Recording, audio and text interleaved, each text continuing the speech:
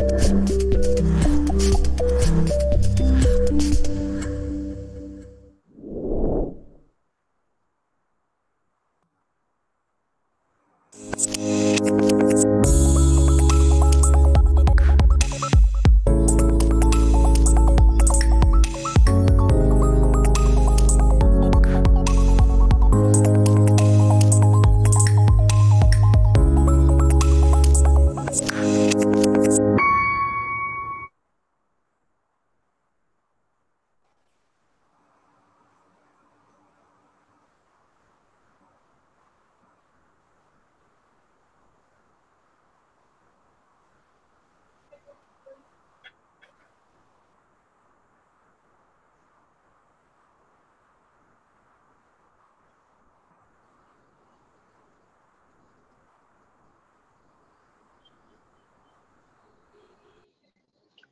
Hello.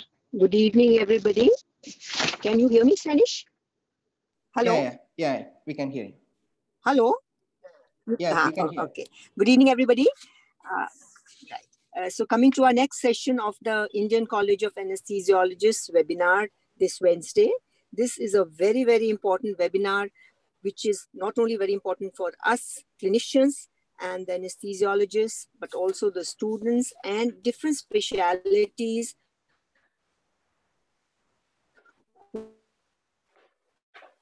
who are interested in the palliative medicine. And today we are very moderators, but the speakers, they are the they are the stalwarts in their specialty, and it's an honor to have all of them with us today. And in the audience today, uh, you'll all be very glad to know that it's not only we anesthesiologists who are participating, but a whole group of nurses and other academicians who are interested in palliative medicine. So really, we are really looking forward to a very, very grand webinar, and I'm sure we'll all go thoroughly enriched. So today, for the moderator, I would like to introduce and welcome Dr. Rajagopal. All three are stalwarts, as I said. Dr. Rajagopal, as we all know, is the father of palliative care in India, and he is the director of the WHO Collaborating Center at Trivandrum, and he is got he is the leader of the organization Pallium India. Pallium India. We all know him. We have all had the honor. Some of us have had the honor of meeting him, and it'll be a pleasure for all of you to see him moderating today.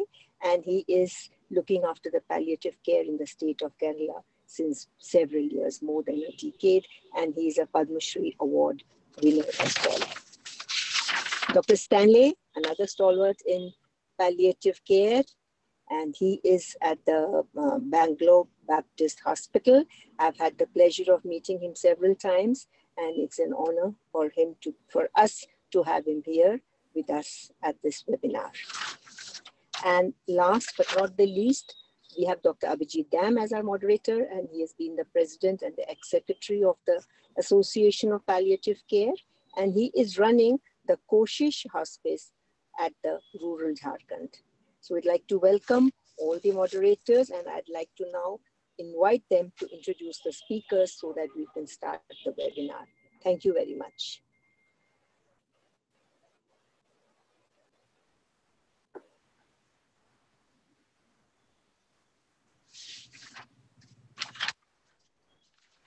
Dr. Raj, your Rajgopal. mic is muted. Dr. Rajgopal, please. I'm sorry. Um, to introduce the subject and to say in a couple of sentences its relevance to palliative care.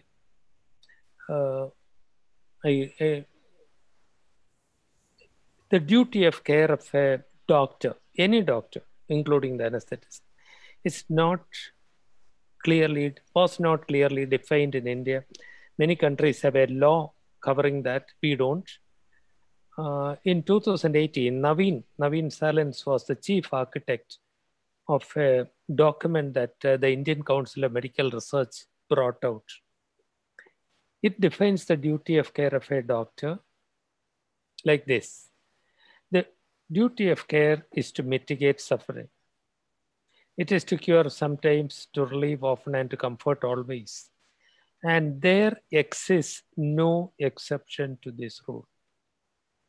As an anesthetist, I was always concentrating on organs, organ function. And my aim was to send the patient out of the ICU or theater with as intact organs as possible. But I confess that I, for a long time, did not bother much about suffering. But Naveen Salins and the Indian Council of Medical Research uh, document remind us that we have the fundamental duty to relieve suffering. There exists no exception to that rule. And this subject of uh, palliative care, which is aimed only at suffering, it is treatment of serious health-related suffering. And we cannot have a better faculty than um, Cynthia and uh, Sushma and Naveen. Uh, I am leaving it to my fellow moderators to introduce the speakers. Thank you very much.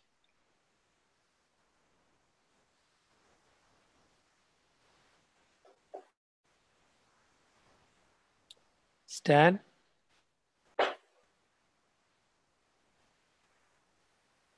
Stanley Mecaden?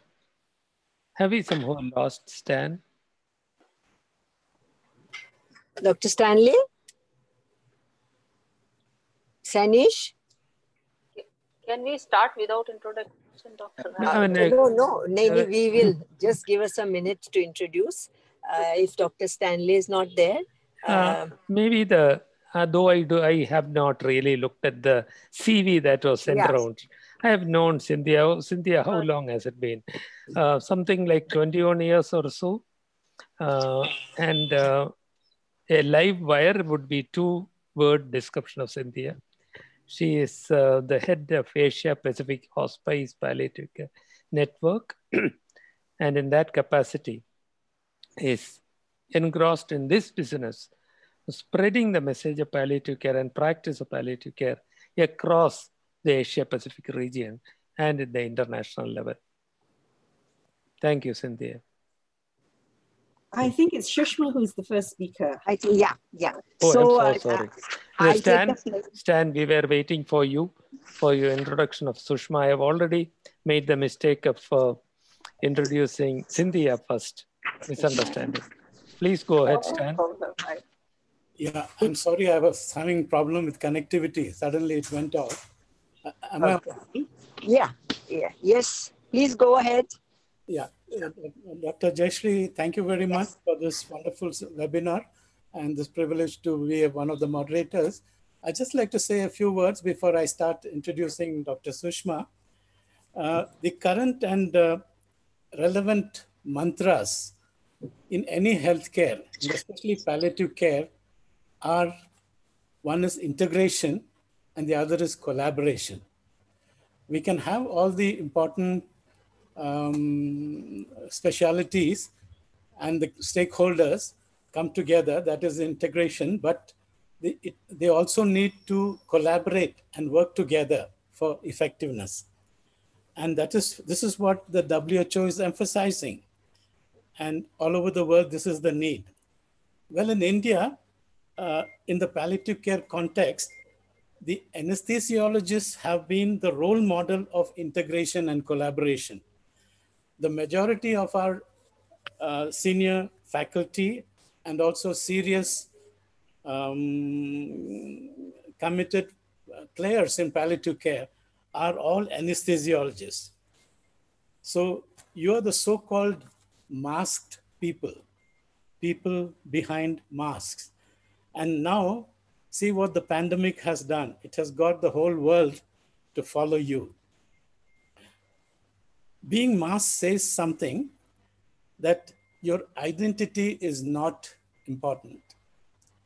It is who you are, the person behind that mask, that is important. It is being which governs the doing. That's why we are called human being, not human doing.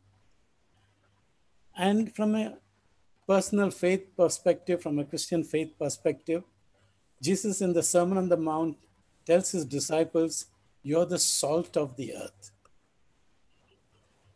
Salt loses its identity and quietly it does it, its work.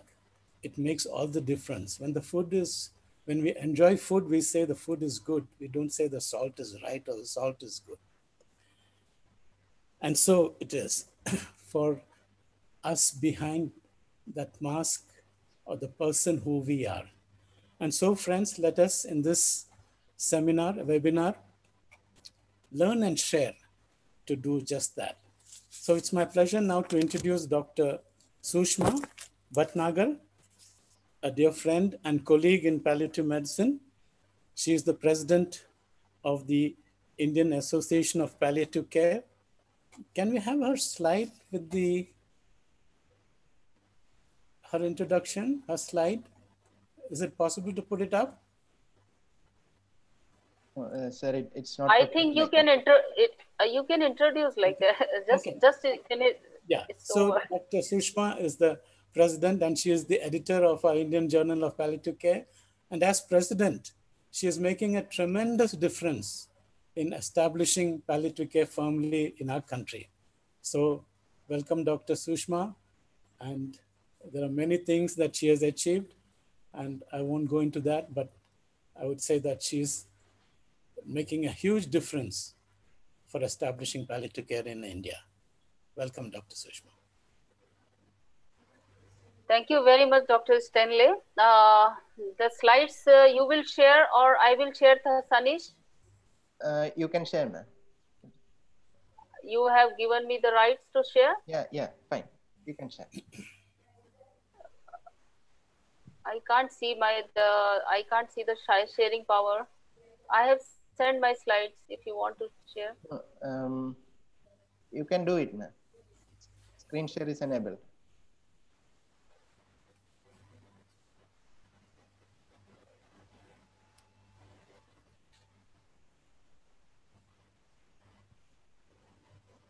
No, I'm not seeing my screen share. Just two minutes. So, uh,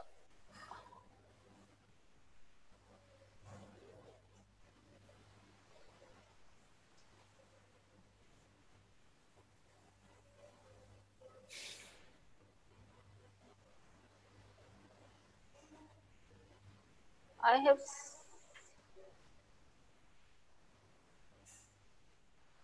I think there is no. Uh, the- Ma'am, you are No. using whiteboard or uh, presentation? I have a presentation. No, uh, So I'm, I have sent my slides to Dr. Vimla. Uh,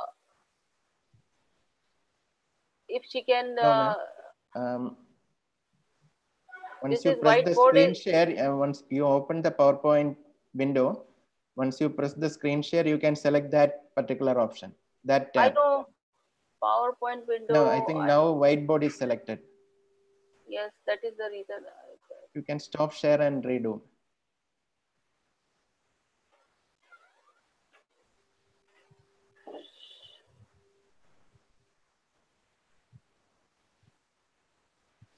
Now PowerPoint window uh, not coming only. There is no PowerPoint window coming. Anyway, can I speak like otherwise or also in case if there is it is not coming? I can't see the PowerPoint window. I can No, no, now your desktop is shared. You can open PowerPoint. okay, I will I will open.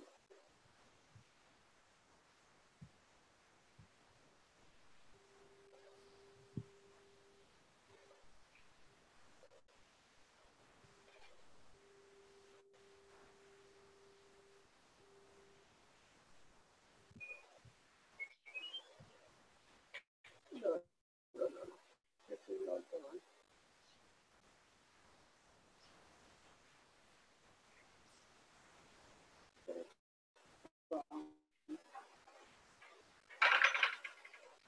Sorry. Yeah. Uh, now PowerPoint is open. Yeah, PowerPoint is open and then Now, the, now once you press the share screen, you can select that window.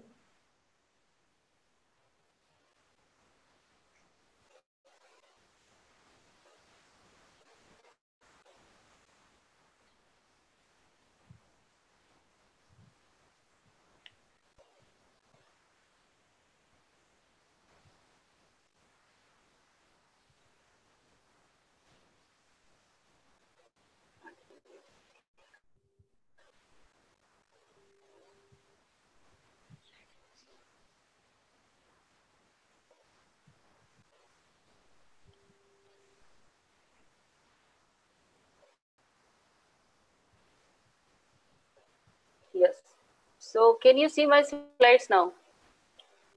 No, no, Hello? No? no, no, no. You can't no see? first, first press the share screen button.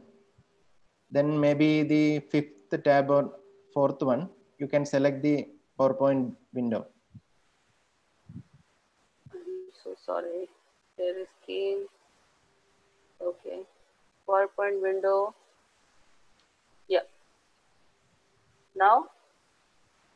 Is it Yeah, okay yeah, now? Yeah, that's fine, Okay. fine. Sorry uh, about this. Uh, thank you, Doctor. Uh, thank you, Madam uh, Jayashree, ma'am. Uh, and thank you, Sanish. Uh, and this is first time I am speaking in the forum of uh, Indian uh, College of Anesthesiologists. And I'm so happy that Dr. Bimla has uh, uh, requested me that we should speak about, uh, we should talk and discuss about the palliative care in uh, this forum. And I'm so excited to see Dr. Rajgopal, Dr. Radhakrishnan, all our seniors uh, over here. Uh, so whatever I have learned in palliative care in last 21 years, I will speak in next 20 minutes. The when I was becoming an anesthetist, I'm telling the truth that I was not having an idea that there is a term called uh, when I was doing my MD, there is a term called palliative care exists although nowadays anesthetists those who are doing md and those who are clearing md they are they get at least some mcqs in palliative medicine. But that those days there was no word called palliative care so when i became when i learned palliative care first time from 1990 98 i started realizing that how important it is to learn concept basic concept of palliative medicine because the way we have learned uh, our medicine, the way we have learned our anesthesia practice, I will speak in terms or in context with anesthesia practice in last 20 minutes. The way we have learned the anesthesia practice, I think it was incomplete without learning the concept of or without integrating the concept of palliative medicine uh, in our practice. So uh, the for the students, uh, this is such an important one and a half hour that you will realize that how important to just learn. It is not that you have to do some kind of a fellowship or some MD palliative medicine, but learn the concept of palliative medicine. Otherwise, our practice of anesthesia will be remain incomplete. So the first uh, uh, first point which I want to say that we are already have a unique quality and as, as an anesthesiologist we have some unique qualities so which we utilize but we not utilize it completely because we don't have a concept of palliative medicine in our integration in our specialty. So what are our various qualities is there is a strong interpersonal capability in management of patient and families. It is the branch where we have to we have to discuss multiple things with the patients and the family members during the pre-operative rounds intraoperative period when there is something wrong is happening or in the post-operative. So throughout the peri-operative period, we have to discuss or we have to have a good interpersonal relationship with patients and their family members. Beside this, when patient is critically sick, that time also we need to discuss with the patients and family members. Their knowledge, our knowledge with their comfort and the analgesics, application of analgesics.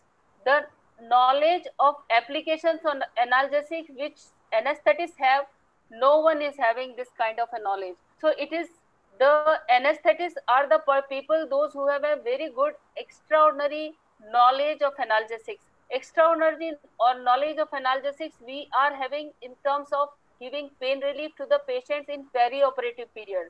But we have to work something extra that how we can incorporate this knowledge into to relieve the suffering of a patient who is suffering with serious health related disorder this as dr rajgopal has said.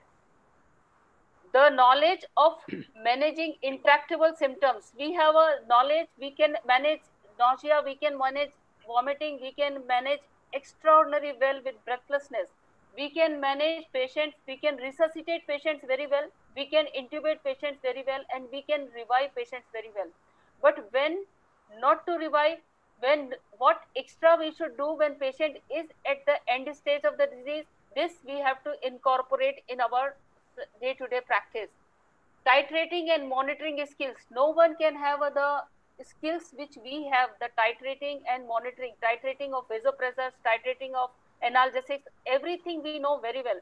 But how, when, how and when we should titrate the analgesic drugs properly, when we should give the medication which can relieve the suffering of the patients, not increase the suffering by giving unnecessary extra hours and extra days, and the monitoring skills. There are extraordinary monitoring skills. But when an end is coming, when a patient is having some kind of a different type of a, when he have reached to the different type of a disease state, when we know that we are not going to give the cure to the patient, what extra things we should monitor rather than just monitoring BP, pulse rate, and our monitors. And then finally, managing extraordinary anesthesiologist has extraordinary knowledge of managing patients in ICU. So how and when we should, how we should not manage our patients when patient is critically sick and patient is also suffering some intractable disease, which we all know in the ICU that patient cannot be revived, patient cannot be survived, and then also we keep managing the patient. So how we should so all these qualities we have extraordinary qualities anesthesiologists have but how and when they can change their practice by incorporating and integrating of palliative medicine in their practice this is what i will speak. So interpersonal capability and management of patients and family first point. I know that we know we discuss with the patients and family members. When patient is sick we go and discuss that patient is sick or patient has been arrested or we are going to intubate the patient. Patient is on ventilator patient is we are putting patients on vasopressor but if a patient is sick and the the whole team is thinking that this patient cannot be revived how we should change our gear this is what the palliative care will teach you so what the first step will be that we will have a family meeting when patient is sick and you are about to intubate and you are planning and your knowledge of your existing knowledge says that now I have to intubate our patient. This is what in COVID patients also in the COVID center we are practicing right now also. Then when we think that patient is a patient, for example, a distant metastatic patient and he is unfortunately having COVID and patient is breathless, that time we can start discussing with the family members right now we are not discussing in the family member face to face we are discussing on telephone but otherwise we can discuss with the family member we can make them understand about their diagnosis and prognosis and we can make the team member them also team member otherwise you know we don't make the family members and patient team members and we just give them a orders kind of a thing that we are going to do this we are going to do that because your patient is hypoxic, your patient's BP is falling, so we are starting vasopressors. But if we are going to explain them properly about the diagnosis and prognosis of all the disease, they will be able to make the informed choices.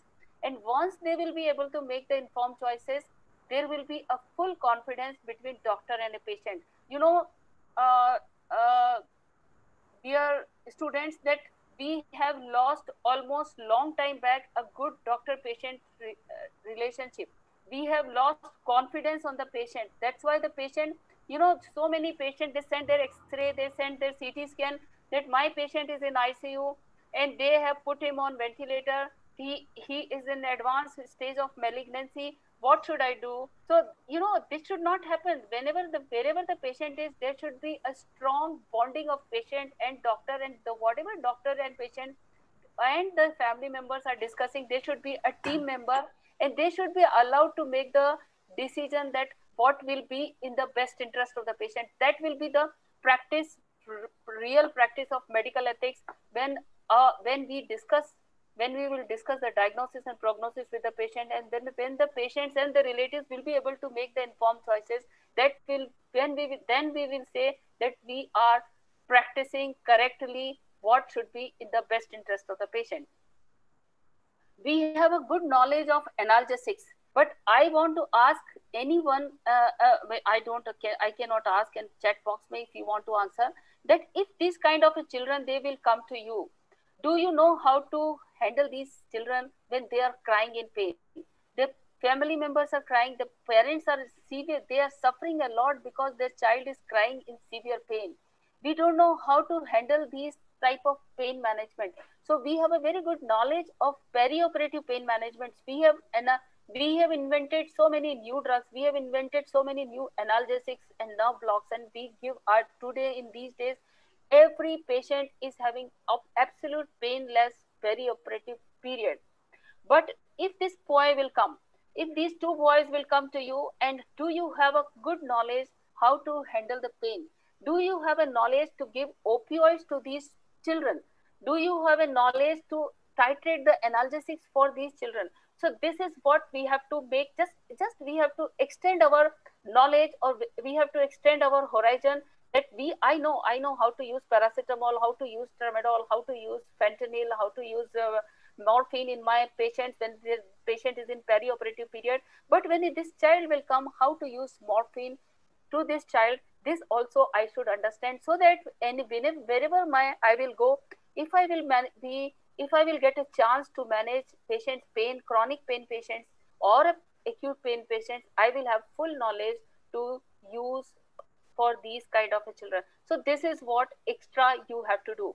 Third thing, uh, we have a good knowledge. We know how to uh, peri- in operative perioperative period. We know how to maintain vital functions, how to reduce mortality, how to prevent morbidity this we are doing fantastically well and all the hospitals are doing very well but do you have a knowledge or do you have a habit or do you have have you practiced any time to when we cannot prevent mortality when we cannot when patient is morbidly sick do you have a habit of giving realistic hope to the patients and their relatives do you have a habit or courage to give honest information are, going outside ICU and giving honest information to the relatives that what is the right situation of the patient and how we should decide.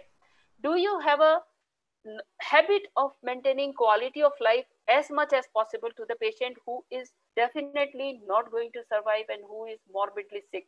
So this is what we have to integrate extra in our in our day to day practice. This is a very good article where we th this is very good article which will give you an insight that how expert how expert we are in managing critically sick patients based on this articles this article says that 14 to 20 percent of ICU patients meet the typical trigger of for palliative care consultation. How many of us have introduced palliative care in our intensive care unit? How many of us in our intensive how many of our intensive care units palliative care is also getting integrated or palliative care physician is also coming and giving consultation. Hardly any. So this is the right time to think that at least 20% of patients in icu they need palliative care but in less than 1% of icu or more or must must be less than less than 1% or it must be in the points in icu we have integrated palliative care in the critical care so this is the right time that we should all our anesthesiologists have a good knowledge of concept of palliative care integrating palliative care in their practice so that these 20% of patients those who are in critical care unnecessary they are lying in ventil they, they, are, lying on ventilators unnecessary we are prolonging their suffering. Not only the patient suffering but the whole family member suffering we are prolonging and we will be able to reduce the suffering of all these patients. If at all if i will say today that in my uh, when we started uh, integrating palliative care in our intensive care there were many barriers and barriers are going to be there. So what are what is the barriers? The foremost barrier is we don't know transition. Transition means when my patient require palliative care consultation how this will come? This will come only i this is not the time and i cannot speak in 20 minutes that this is the way how to we should recognize transition. But if you will go into the depth then you will realize and you will have a good knowledge, if you have a basic concept of palliative care, you will have, you will be able to understand and able to decide that when my patient needs consultation with palliative care or how okay, I can provide palliative care or palliative medicine integration in my. There are many barriers, and these are the barriers which I have brought, uh, which I have kept in the four boxes, and I will go quickly on those four uh, boxes. That professional culture our professional culture was we have learned that how to save life how to how to note down the vital signs and monitor vital, vital signs and we have very good very good habit and we have an attitude of depersonalizing stabilization that my patient should be stable his bp should be right his lungs should be uh, all right he should his ABG should be fine. What is happening as a total my patient uh, to my patient and what is happening to my the caregivers outside those who are sitting wife husband daughter son they are sitting. What what they, they are thinking about this we don't have any we don't we don't know and we don't care about it. Second thing is second thing very very important is time course uh, most of the time when patients land up in the uh, emergency we don't have we don't have time when patient is breathless we have learned that when a whosoever is coming in emergency if a breathless patient is coming, we should intubate. This is what we have learned and this is what I have learned in my MD. But dear friends, this is also very important that when not to intubate, when not to resuscitate in emergency, this is very important. Otherwise, there will be no time when patient will be breathless, there will be no time. And these type of discussion, if a patient is suffering with some kind of a chronic debilitating condition or a chronic serious health related disorder if patient is having, if we have discussed it before in uh, AIIMS there are patients those they are coming in emergency because they are breathless they are in severe pain but they says that we have been discussed and we have been explained already. If you are going to intubate i don't want intubation i don't want ventilation i don't want to go to icu you just relieve my pain or i am having fluid in my lung. Please remove the fluid i will be less breathless and but i don't need intubation. This is kind of practice we need all over the country so that we will be able to avoid unnecessary transferring of the patient in ICU. Uncertainty is going to be there if we will not understand. If we are uncertain, if we don't know, we are we just think that my uh, my uh, my aim or my duty is just to intubate the patient, put on the ventilator, and shift into into the ICU. We will not be able to allow our patient to make the decisions so we have to have a we have to relieve our uncertainty i know that uncertainty really kills in these days uncertainty because of the covid is killing us and similarly uncertainty about the disease prognosis and diagnosis kills relatives. So please make sure that our patients and their relatives they should be certain and they should have a clear cut care path so that they will be able to make decisions. Environment and communication and expensive resources these are again the barriers that we want that to use at to the extent that till ECMO I will not use I will not be able to say that my patient is now going peacefully. So we have a habit of putting patient on ventilator and then vasopressors and then ultimately on ECMO. So we have a lot of faith on technological advancement. But i am not against technological advancement. But when should we use technology advanced technology and learning about the giving pain management giving symptom management this is also a one of a kind of advanced technology in medical science. So we should turn our gear and we should try to relieve the suffering of the patient.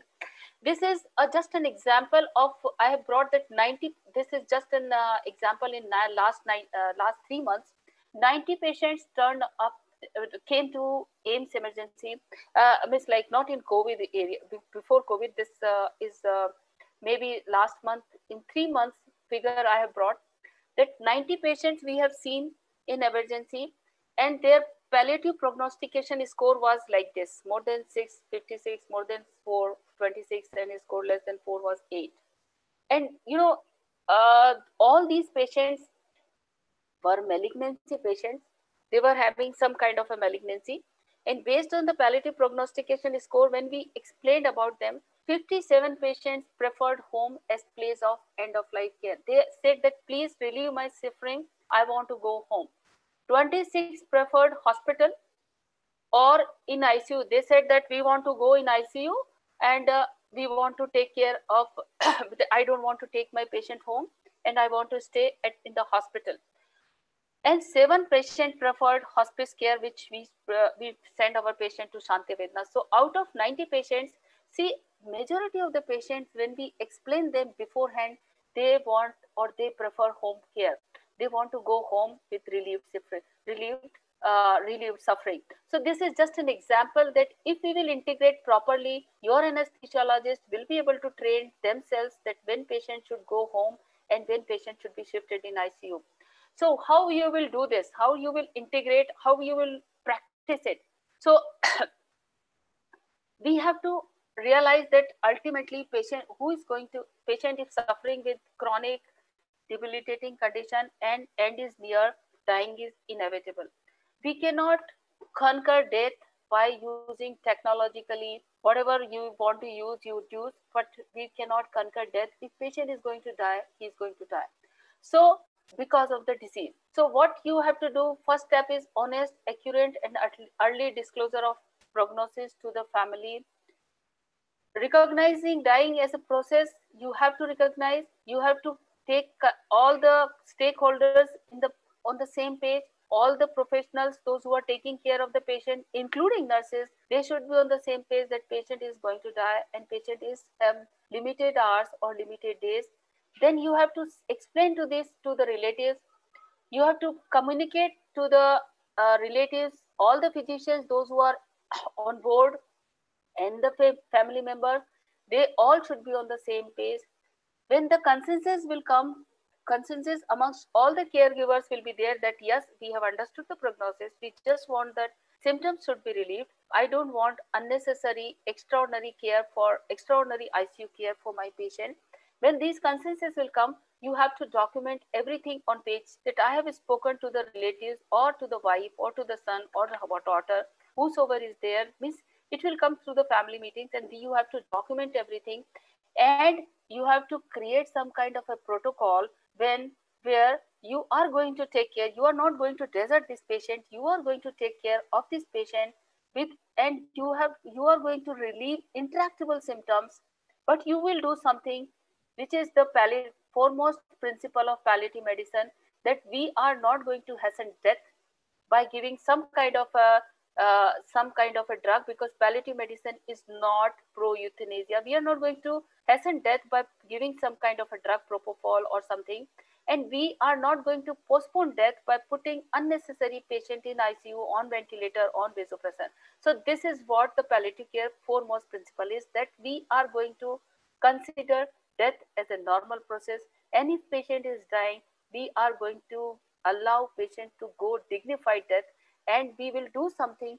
We will control his symptoms so well so that he will not have a he will have a good death and he will unnecessary we will not prolong his suffering by putting him on unnecessary advanced technological advancement. This is also very important for the uh, corporate hospital this slide that it is not that palliative care integration will be difficult in corporate hospital. Many of my residents, they are going in corporate hospital and they are doing fantastic palliative care and they corporate hospital have started palliative care wings in Delhi, many of the corporate hospitals. You have to just tell them that integration of palliative care is going to be beneficial not only for the patients and the family members, but this will be beneficial for staff, it will be beneficial for organization as well how it will be beneficial for staff. If a patient we put on ventilator for months together in icu we also get demoralized. We know that this patient is unnecessary paying money. This patient is not going to come out. We get demoralized. We are guilty. So if we will integrate proper integration of palliative care will be there staff will be satisfied with their professional profession. And this will also create help in organization by vacating bed, beds for the patient, those who can be cured. Last two, three slides there only. So this we need to understand. This is the philosophy of palliative care. This Dr. Rajagopal has said in the beginning that we cannot cure the patient, we can care the patient. If disease is becoming violent, we can help patient by controlling symptoms and by, but we have 100% sure that we are not going to cure the underlying disease, but we can care the patient. And this is the foremost principle or philosophy of palliative care. Most of the time, palliative care, we consider it is end of life care. This is a big myth. It should be a principle should be that it should start from the beginning and it should remain till the end patient is patient death and it should also it should be continued after death to the caregivers. I will not go into the detail of this diagram, but I can tell you that if a patient is suffering with carcinoma breast and straight away she's going to surgical oncologist, surgical oncologist is advising him, her uh, that we are going to remove your breast and then we will send you to medical oncologist. That time patient is having lots and lots of problems and if a surgical oncologist and if oncologist will not have a basic knowledge of palliative medicine, they will not be able to treat patient, this lady as a whole. The lady also wants to know that what is going to happen to my hair, what is going to happen to my beauty, what will take, how, whether I will going to, I'm going to die because of the disease, because cancer as death is synonymous. So all these things, the practice, if an oncologist will have a palliative care practice, they will be able to handle this patient very well. Then patient should have then as the curative treatment will go on patient will uh, as the disease will progress palliative care physician should be involved from the beginning when the for example if a patient is metastasis become metastatic palliative care physician should be there and as the disease will progress patient will be able the palliative care physician will take the lead and the but the primary physician will always but if a patient is dying and you will send to palliative care the patient will get badly demoralized. They will think that because I'm dying, they have sent to the me to the palliative care.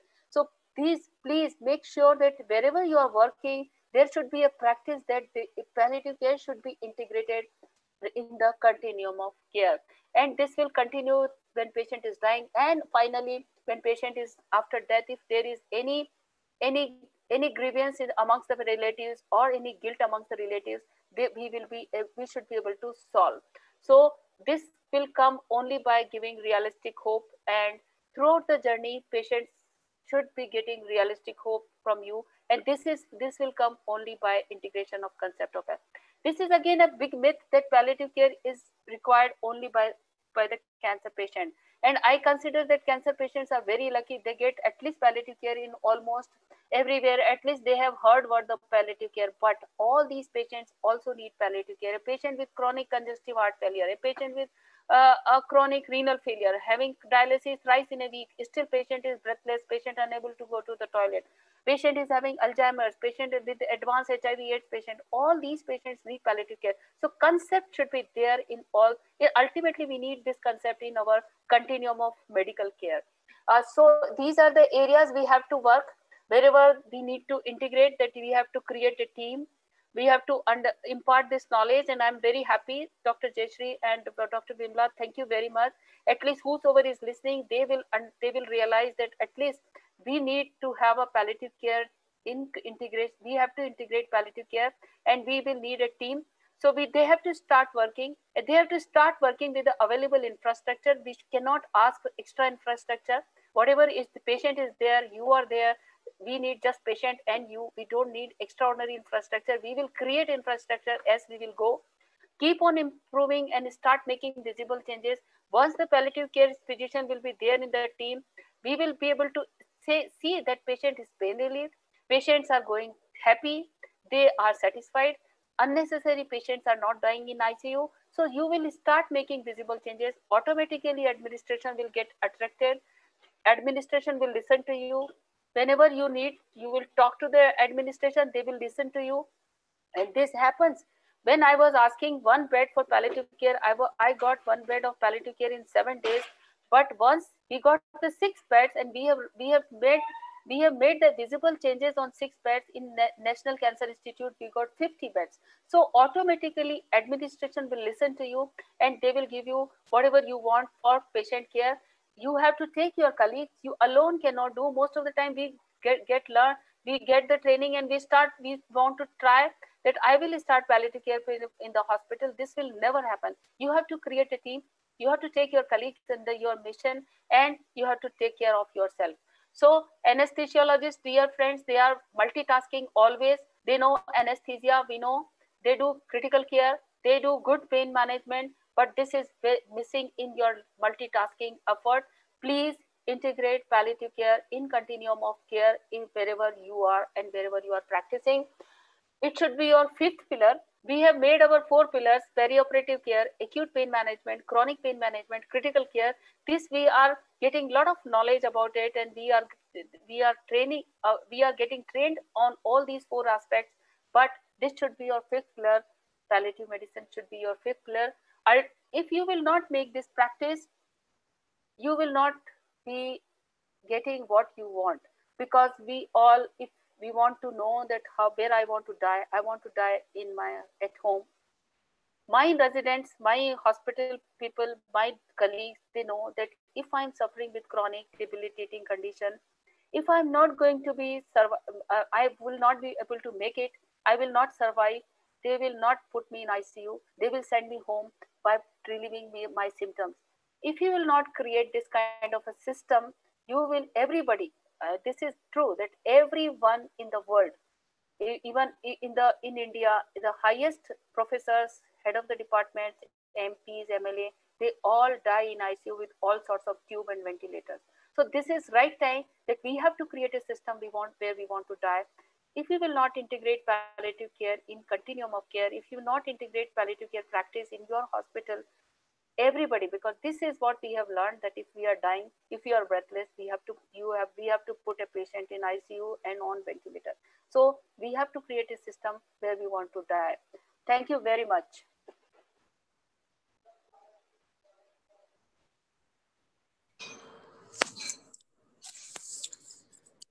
Thanks a lot, Sushma. Thank you so much. Thanks a lot. That was great. Dr. Stanley? Yeah. Uh, I believe Dr. Rajagopal has already introduced Dr. Cynthia, but I, I, I, missed that because my connectivity was lost. But I would just like to say that Dr. Cynthia is the chair of the Asia Pacific Hospice Network and also the co-chair of the World Palliative Care Alliance. More than all this, she's a dear friend of the Indian Association of Palliative Care, and she has contributed a lot to us through her personal interest and her various contributions. So we are indeed happy to have her with us, and she's going to uh, talk on the importance of assessment, proper assessment, as incomplete assessment leads to incomplete management. Welcome, Dr. Cynthia Goh. Thank you very much, um, Dr. Stanley Mecaden. How nice to see you today. Uh, I'm going to try and share my screen um, and uh, I hope that the, the, the thing works because um, uh, let's see how that this works. Share. Um, can you see my screen now? Yeah, yeah. Yeah. Fine. Yes, we can. You can go to the slides slideshow. So uh, is that okay? Yeah, yeah. fine. Um, I've, I've been asked to talk about assessment, and I, I think this is something which is very, uh, which is common across uh, the whole of medicine. But why is assessment important, particularly in, in palliative care? I think you can't do medicine um, if, you, if you can't assess properly. You can't treat a patient, you don't know how to manage a patient. Um, but how is palliative care assessment different from any other medical or nursing assessment? We know that palliative care tries to treat the whole person. We talk about it as whole person care. So we can't just stay in the physical domain. We have to assess the emotional coping. We have to assess the family, how they're they're managing. We have to assess the social circumstances. Finances are very, very important nowadays in any kind of medical care. And of course, we also have to uh, look at the sp- patient's spirituality. Physical assessment, uh, this is quite straightforward. This is what we learn in medical school. Uh, but we need to look at the symptoms properly, decide which one needs to be managed, um, palliative care needs to be done by a, an interdisciplinary team because a lot of the mm, uh, assessment and needs are nursing needs. How is the patient going to go home? Who is going to look after them? What are the caregivers going to do? So the nursing, our, our nursing team members have a very um, strong um, input. And also we have to assess the patient's function. Then emotionally, we have to look at how the patient is adjusting to loss and uh, is there anxiety or depression? How, are, how is the family and the patient coping with the changes that need to be made uh, when a life-threatening illness is diagnosed? Um, patient may be thinking about losing loved ones. They're also losing all sorts of other things in their lives, their job, their lifestyle, uh, their personal independence. Then looking at the family, we see the change in roles, um, the family facing impo- impending loss of loved ones. There are caregiving challenges. Who has to give up a job to look after the patient? If the patient was the caregiver, who was going to look after the people that the patient is looking after? What is going to happen to the future of the family if the patient should die? And what are the regrets of unfulfilled duties? Socially, there is very often a change in social circumstances, a change in the role in society. We worry about the children. Can they still go to school? Can they afford to go to school? Um, what about social activities that the patient used to do, which she can't do now? And of course, we also have to face stigma of disease. And many of our diseases, including cancer, still carries a lot of stigma. Um, as I mentioned, the financial aspects of care is very, very significant now in medicine when everything is very, very expensive. Uh, the patient may have lost a job, um, may have changed his role from caregiver, from or breadwinner to someone who is requiring care and maybe may uh, consider themselves a burden to the family. We have to worry about the cost of treatment. Where are we going to find the money? The financial stress the, on the family if we're going into debt and worry about future finances. How is the family going to manage um, with all, the medical debt and losing the patient? Um, we also have to assess the spiritual aspects of our patients coping. Pa patients, when they have a, a life threatening illness, they may fear the unknown, they may fear retribution. Um, uh, they may wonder, I have been a good person all my life. Why am I suffering? Um, their religion may dictate that they have to be very stoic, and yet they are in terrible emotional turmoil. They think I've, they feel guilty that I should, I should feel peaceful. I should accept my fate, but I don't. I don't want to die. Um, and how do we help the patient find hope in what is sometimes called a hopeless situation? So we start by taking a history. We always start by taking a history. But taking a history is not just getting the facts, it's about establishing a relationship. And in palliative care, taking a history means getting to know who this person is. Yes, we have to take the history of the present condition. What are the present symptoms? How did your illness start? When did it start? If it is a cancer, how was the cancer diagnosed? What treatment have you had so far? And are the ongoing treatment plans, are they appropriate? How much understanding does, does the patient and the family have of what is happening? And how realistic is their hope? What is their hope? That's all part of taking a history. I'd like to uh, give an example of, you know, Dr. Sushma, Dr. Naveen, and I, we uh, run these trainings in cancer treatment centers in, in India. And twice a week, we have case based discussions. And I'm just taking um, a case that we discussed last night in our case discussion. Madam Lalita, this is not her real name, uh, was uh, a woman from Dehradun, 65 year old woman. She presented with a left, with a lump in her left breast. Um, and um, in 2017, she had a modified radical left mastectomy. It was a large tumor, but um, it was early stage.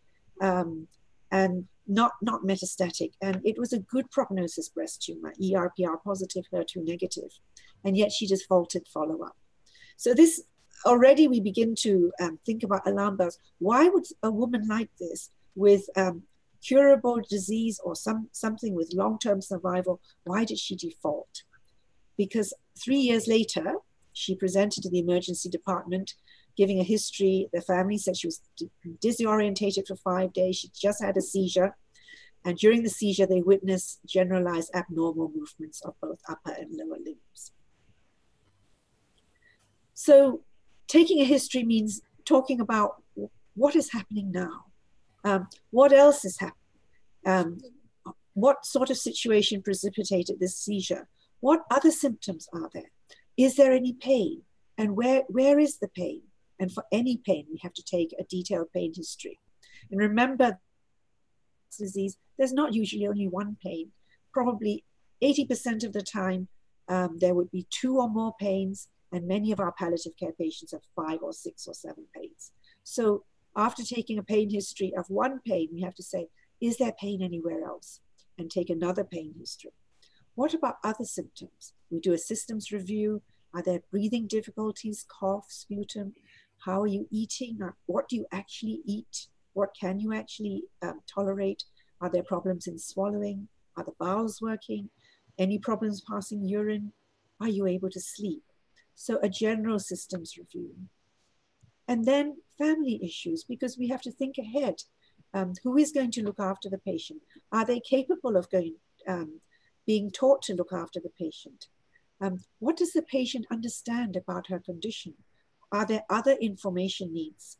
Um, what does the family know about the uh, condition? How do they think that it is treatable and what sort of treatment do they understand? After the history taking, of course, um, a thorough physical examination. And to me, it is the physical examination that seals the relationship. While the history introduces you to who this patient is as a person, um, the physical examination actually um, builds on the trust. Um, of course, a thorough physical examination defines the causes of the symptoms. You have to exclude common conditions in, in this population of patients, oral thrush, constipation, do a rectal examination when necessary, pick up comorbid con con conditions apart from what, what is presenting. Um, at every um, encounter, whether it is the, uh, the first examination or follow-up, we routinely do the vital signs, examine the mouth, listen to the chest, examine the abdomen, look at the stoma or fistula or, or wounds, do a rectal examination if necessary, um, examine pressure areas such as broken skin, um, depending on how, how mobile the patient is. But the physical examination also communicates a lot to the patient about our respect for the person. My doctor and nurse is really careful not to miss anything. My doctor and nurse really cares about me and respects my modesty and respects my comfort when she, he or she touches me. So Madam Lalitha, going back, we do relevant investigations. So um, blood investigations more or less normal. Uh, this was COVID time, so she had COVID screening according to admission protocol. She was admitted after her seizure. She uh, went on to have an MRI of her, her brain, which showed multiple brain metastases with midline shift. Uh, CT chest and abdomen was normal. And she went on later on to have a bone scan, which found multiple bone metastases, particularly in the spine, um, in both the dorsal spine and the lumbar spine. Very often our patients present with many problems. And when we are faced with many issues, um, we have to prioritize. And how do we pri prioritize? Our priorities is really the patient's priorities. Um, early on in my career in palliative medicine, I used to think I will treat the things that I can treat and leave the things that I can't treat. I think that doesn't work because you see a patient in, in quite significant pain and you say, I can treat the pain. And yet, if you ask the patient, what is it that troubles you most? The patient says, I'm worried whether my children can go to school or not. So, treating the pain is not good enough. We have to take the patient's priorities as well. What troubles you most? What would you like me to help you with first? Is it getting you mobile again, getting home, getting the financial issues sorted out, caregiving um, issues sorted out? So ask. So when we say palliative care is whole person care, at the end of the assessment, we need to understand not just the history and the symptoms, not just the extent of the disease and prognosis, its effect on the family and caregiving issues, the financial implications of the disease. But the, at the end of the assessment, we need to be able to answer this question who is this person and what is important to him or to her?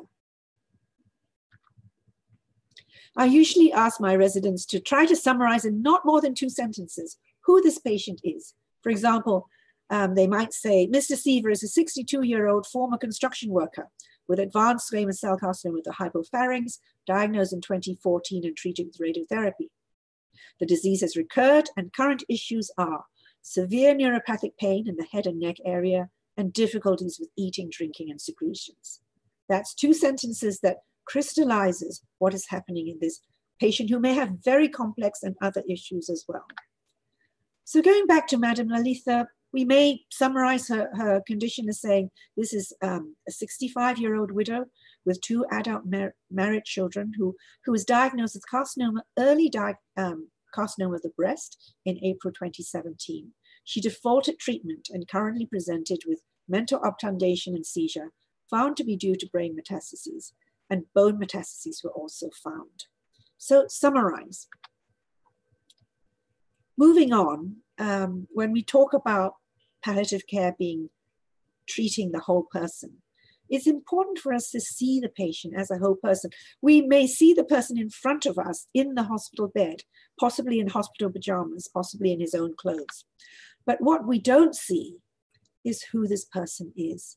And I think it's very, very important to know what is the context um, that this person is a father, is a husband, is a grandfather, is a father in law, um, has a job, is an important person in the job. So, all of these things we need to understand. And the unit of care is the patient and the family. So, making a patient a family chart is very much part of palliative care assessment. And I think many of you know how to draw, but just in case, uh, for those who are not familiar with um, the uh, uh, how to draw family chart. So squares means male, circle means female, um, um, a cross means deceased, and a double line means this is the patient. So for example, uh, this is a female patient, and this is her relationship. The first line um, is the, uh, sorry, uh, the first one is a married lady, um, with two lines, a, a, divorced lady, a single line, separated, and a dotted line, maybe living together, maybe engaged, um, uh, and maybe just a close relationship. And if there's more than one marriage, you can um, depict it like this. So if the patient is the husband, first wife was divorced, three children by the first wife, including a son and twin son and daughter. Then um, second wife, he's separated from his second wife. He has a daughter by his second wife. And then now he's living with another lady whom he introduces as his third wife, but actually they're not um, married to each other because he's still married to his second wife. And in this family chart, here is a, a, um, a patient who is married, um, whose parents, um, his, her mother is, has died, and she's got a father who's widowed. And this particular patient, also a lady, married with three children, two daughters, and one son. And what about this? You can build a family chart. You don't have to do it all in one sitting. Same lady um, who has um, a father, mother has died, she's married with two daughters and a son, and she has three siblings, an elder brother, and an elder sister, and eldest, eldest, a younger sister. And uh, you can see that the elder brother is married, um, has two children. The younger sister is divorced, has one child. Um, and you can say, who is living in the same household? So she lives with her widowed father, um, with her husband and children. Um, and you can add the ages of the children. Here you see a household um, of her divorced younger sister is living with her. Uh, there are four children under six. Um, and who is the caregiver? Actually, the patient is the caregiver. So if the patient can't look after the children, what's going to happen? Someone else has to look after the children. Um, so would it be the older sister? Uh, would it be the younger sister? You find out a little bit more. Can her father look after the children? No, he can't. This 67 year old man, he's a diabetic amputee. He can't be running after four children under six. Um, uh, the patient's husband is a dispatch rider. He has to go to work. Um, so one of her sisters, probably the, um, the older sister, who's the childcare helper, would have to give up work to look, help look after the patient and look after the young children. What about this family? Family structure exactly the same, but the children are of a different age. Um, these are, she has two adult daughters, age 22 and 20, um, and uh, they are also able to help look after her. So different kinds of family with different resources with very different issues. So going back to Madame Lalita, she, um, her father had died, her mother, uh, she, sorry, her husband has died. She's a widow living with her married son who has um, three children who are fairly young. And her daughter is also married, but she's living far away from the, from the family. And then there are different kinds of family. Here is a family with eight children. So you have to ask yourself, if the patient is the mother, who is the care, um, who is going to be the caregiver and who makes the, the decisions in this family? Is it going to be the husband? Is it going to be the eldest son? Is it going to be the daughter who earns the most and who lives in America? Um, who in this family has the most say over treatment and who has the most say over care? So recognizing family structure and knowing who they are is very, very important. Here is another family. Um, so the patient is the second wife um, of uh, um, her husband, the first wife had died, um, and there are five children from the first marriage, and she has three children of her own. Do these two families get together, uh, get on well together?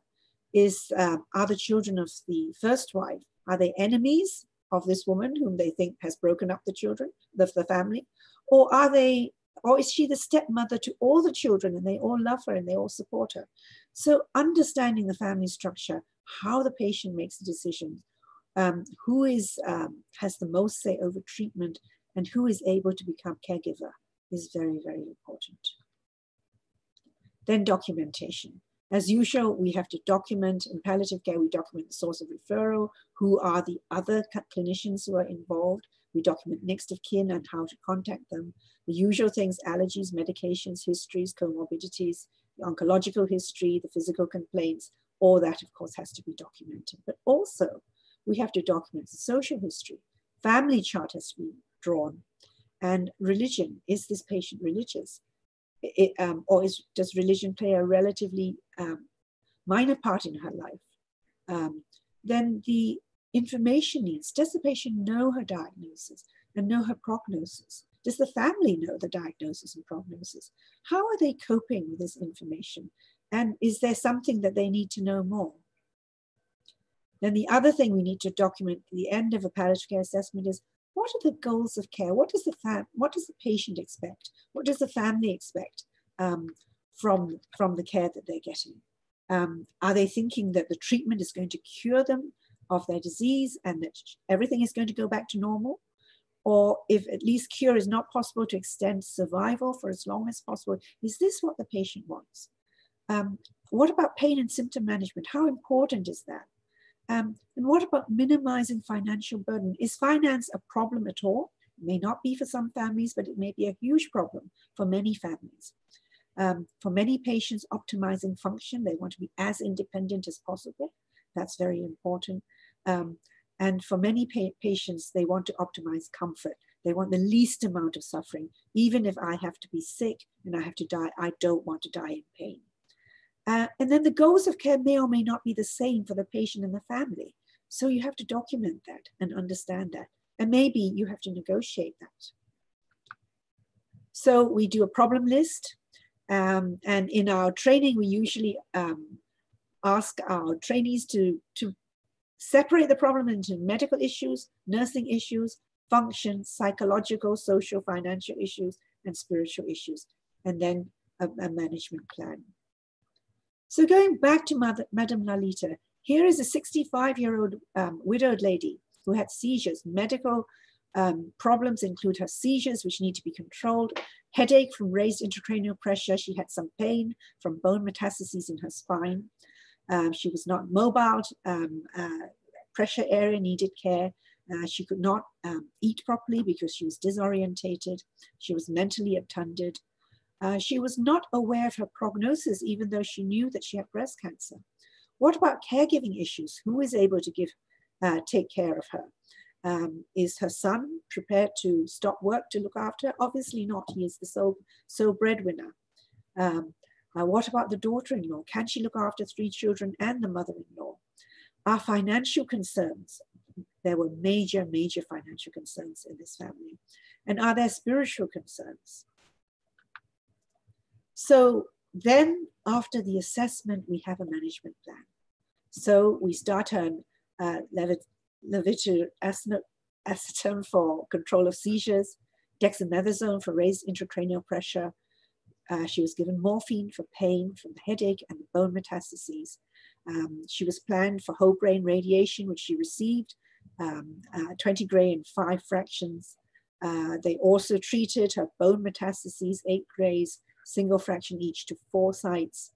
Uh, she was given um, follow-up with the oncologist for carcinoma of the breast. Um, caregiver training was given by, by the nursing staff uh, the finances of this family was very bad, and treatment costs are waived by the um, by the hospital through um, some of the schemes um, from the state. Um, NGOs were brought in to help support the, the family financially. Um, the family were given information about treatment, that there is still treatment for this patient because she has hormone positive disease um, and hormonal treatment may well be suitable for her and the prognosis was also discussed. Um, spiritual concerns were looked at, and the patient says she hopes to be cured, but even if she can't be cured, she wants to be pain free. So goals of care were being established. So we need comprehensive assessment to provide patient-centered care. If, if palliative care is about um, management and treatment of the whole person, then person-centered care is what we're looking at. So thank you very much.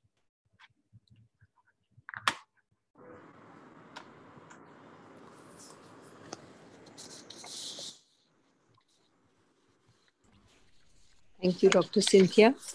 Thank you, Dr. Desh.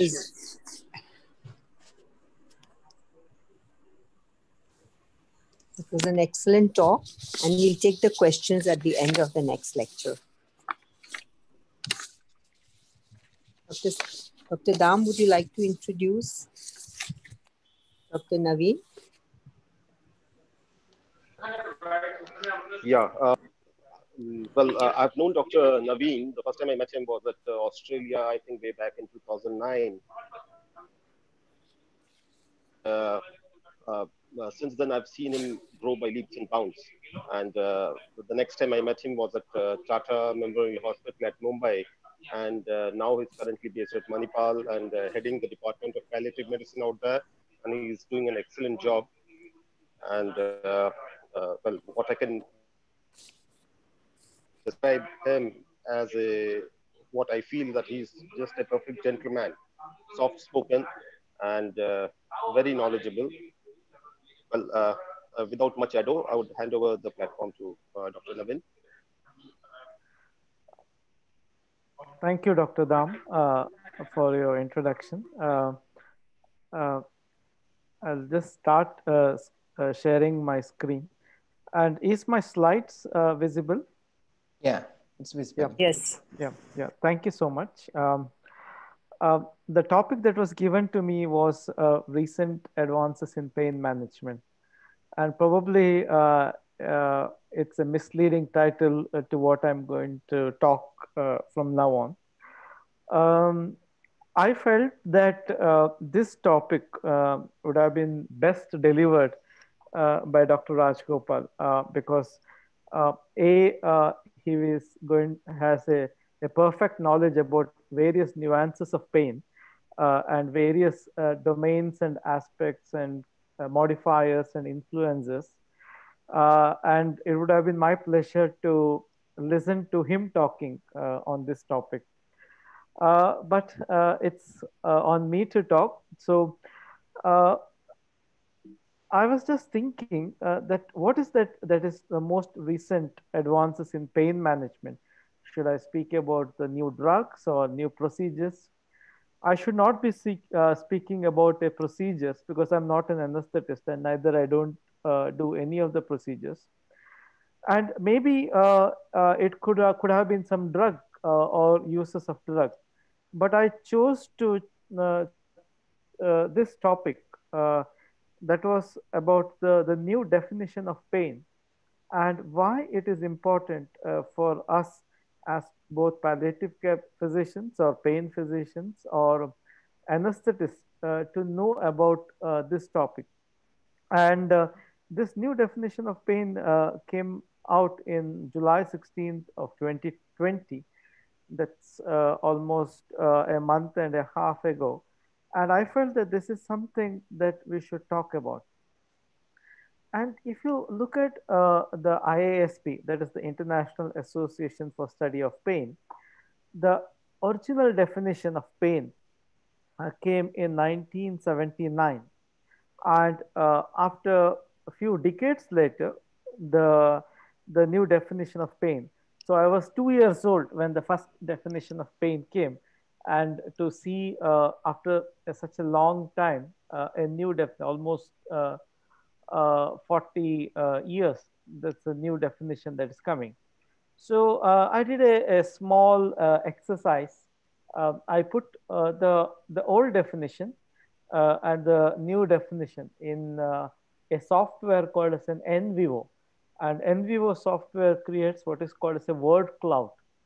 And word cloud is to look at uh, like uh, an overview of what the words are talking about uh, a definition versus what the words are being represented in the new definition. If you see the 1979 definition, what stands out is damage. It's all about damage to uh, uh, to the tissues or damage to the nerves or talking more in terms of what is called as nociception. But if you look at the word cloud of 2020, uh, it looks more beyond the damage.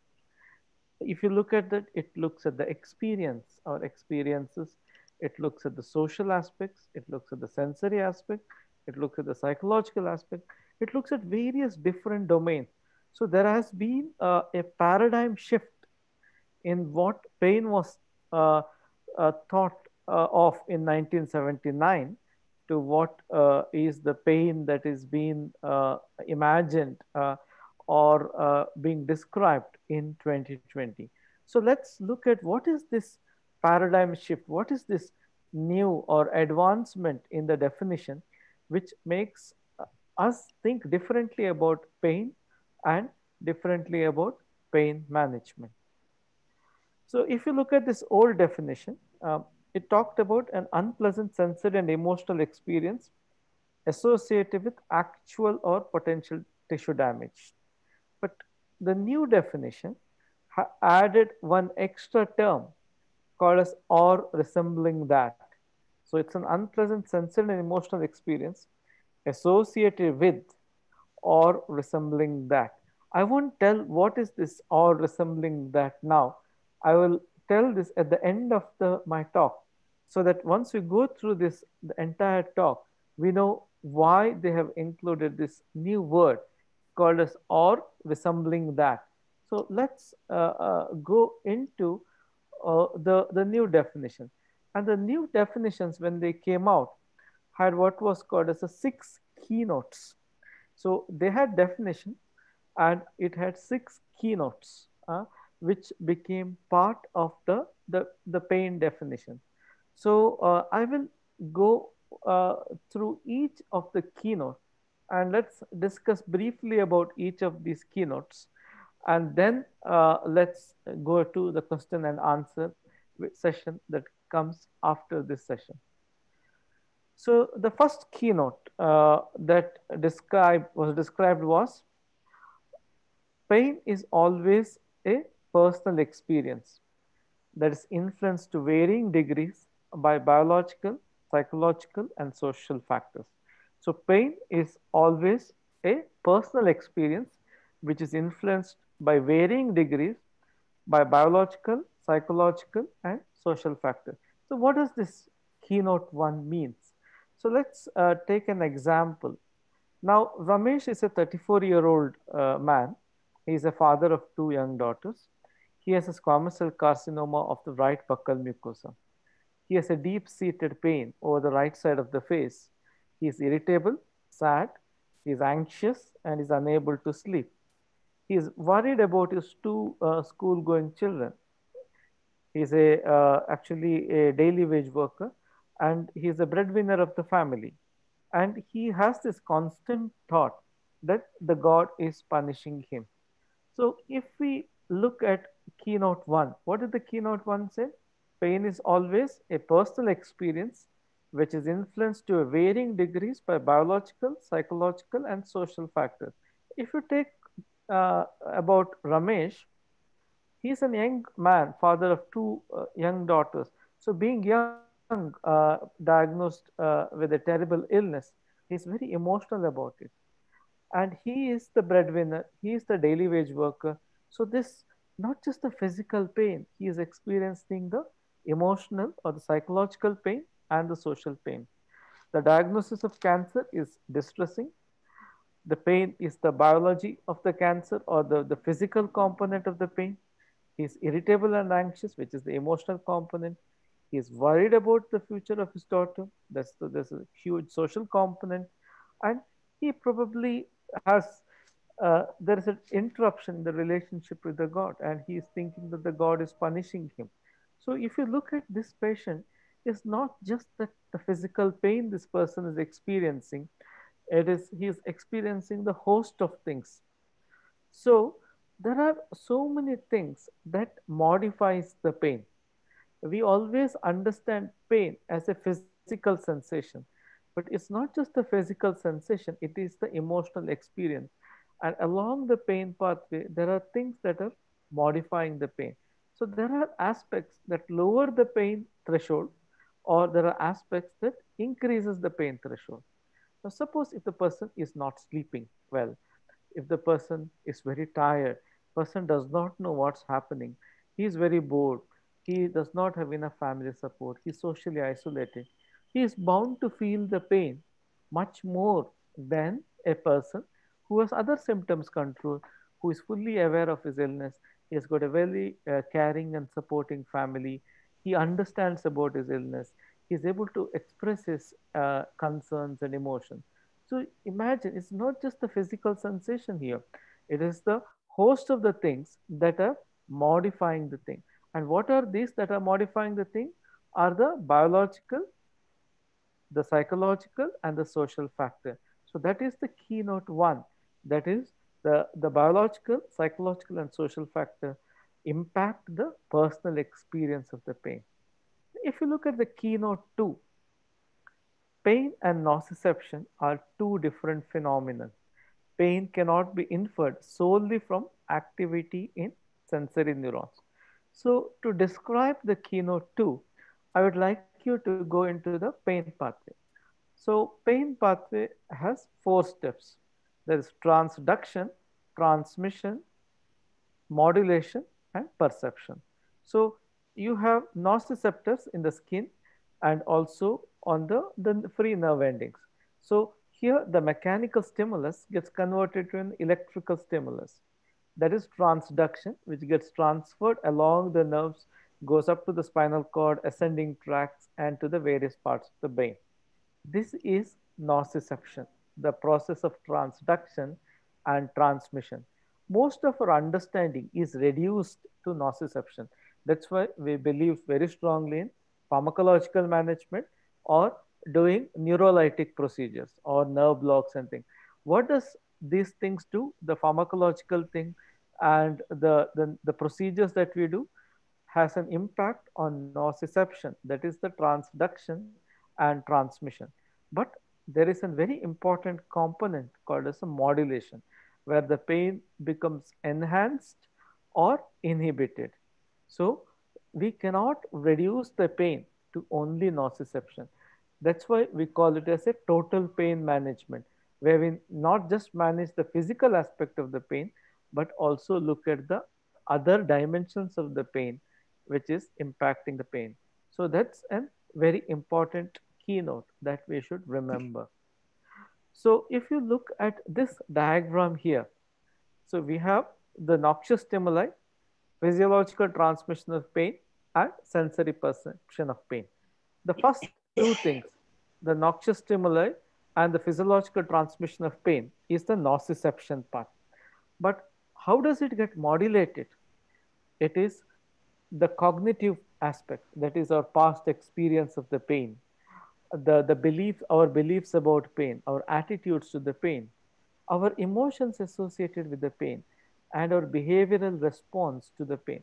Everything modulates the pain, which is finally perceived. So that's why we cannot reduce the pain into just into nociception. So if the keynote two says that pain and nociception are two different phenomena. Reducing pain to nociception is a major pitfall in pain management. That is thinking that only drugs will work, only procedure will work is reducing pain to nociception. So we need to go much holistically. The third keynote in uh, understanding pain is through their life experiences, individual learn the concept of pain. So what do we understand by this concept? So if you look at the neuromatrix of pain, so there is what is called as an input to the neuromatrix and output to the neuromatrix. So what are the inputs to the neuromatrix? Our past memories of pain has a huge impact on our present experiences. So suppose uh, we talk about a lot of in chemotherapy uh, associated induced nausea and vomiting, there is a term that what we use called as an anticipatory nausea and vomiting. That means a person who has taken chemotherapy in the past, when they come to the daycare and when the nurse is preparing the chemotherapy, before the chemotherapy is administered, the person will start vomiting in anticipation. Why? Because the past experience of taking chemotherapy led to vomiting and they think that this present experience also will lead to that. Here, when we talk about the neuromatrix of pain, the past experience of pain, it could be related to a procedure or it could be related to an intervention. And the, the meaning associated with the pain, how comfortable the person felt or how distressing the person felt has a huge impact on what the person is going to experience now. So when we are doing the pain management, one of the important aspects is to explore the past experiences of the pain because it's going to impact the, the present experience. So that's another keynote that what we need to take into account. The fourth keynote that what we say is, is a person's report of an experience as pain should be respected. Uh, as doctors or as physicians, our medical training is completely geared towards being objective in our measurement.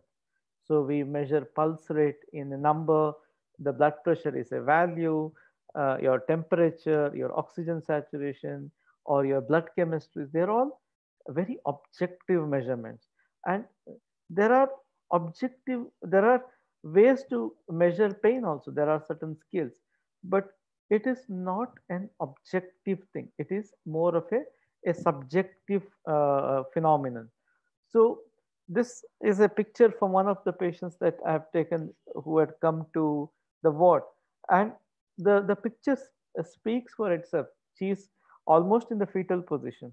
So remember, I talked about the, the definition, what was called as resembling that. So when we talk about resembling that, that means that verbally is not only the way to express pain. We need to uh, uh respect various forms of pain expression and various individuals will express pain in different ways. So that if they are not able to verbalize and tell the pain, that does not mean that the pain is not present. And second thing is uh, we need to focus more on the rich descriptive story the patient comes with rather than the, the, the pain score, numerical rating score, scores or certain other pain scales. So this is a very important aspect of pain assessment. This is a just brought the scale just to tell that how insufficient sometimes the scales could be. This is what we call this an Edmonton classification system of pain. And if you look at this, there is no role for an individual uh, expression of pain or a the rich description of the personal experience of the pain. So sometimes scales per se, or we like scales, we like tools, we like staging, everything. But for pain, I don't know how appropriate it is. Now, if we go to the keynote five, pain usually serves as an adaptive role. However, it may have adverse effects on function, social, and psychological well-being. So when we talk about pain, pain is a protective reflex, isn't it? If we do not have pain, it can cause more damage. When you're cooking in the kitchen, you touch a hot utensil, you immediately withdraw your hand. It has an adaptive role because it's protecting you. Uh, you develop a severe pain abdomen that makes you goes to the doctor and doctor diagnose you to have an acute appendicitis.